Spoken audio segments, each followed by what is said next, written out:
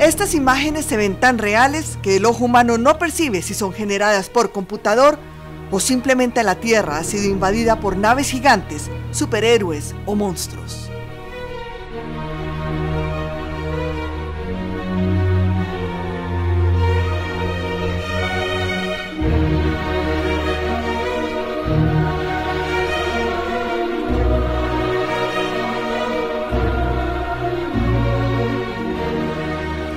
Del cine y la publicidad hoy cuentan con una tecnología avanzada para crear digitalmente cualquier idea que se le cruce por la cabeza a un creativo.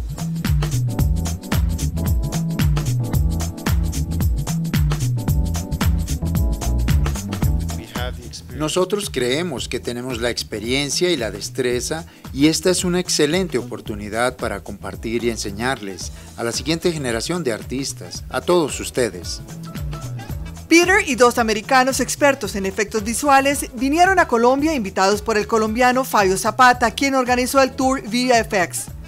El evento tuvo dos importantes propósitos. El primero de ellos mostrar los últimos avances en programas para modelar y hacer el render que finalmente crean este tipo de imágenes. Y el segundo propósito es traer la industria de los efectos visuales a Colombia.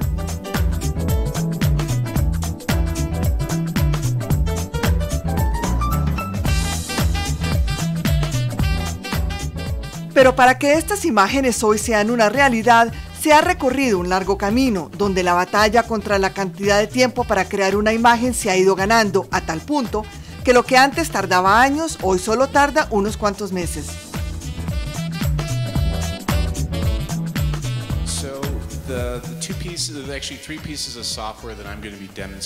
Este es un paquete de tres softwares que quiero mostrarles hoy. Maya, V-Ray y Mary de una compañía inglesa llamada Foundry. Y realmente lo que este paquete nos permite hacer es bastante asombroso. A lo largo de los años ha tenido muchas mejoras en la tecnología y lo que tomaba meses y meses hacer se puede hacer en unas semanas o incluso en un solo mes.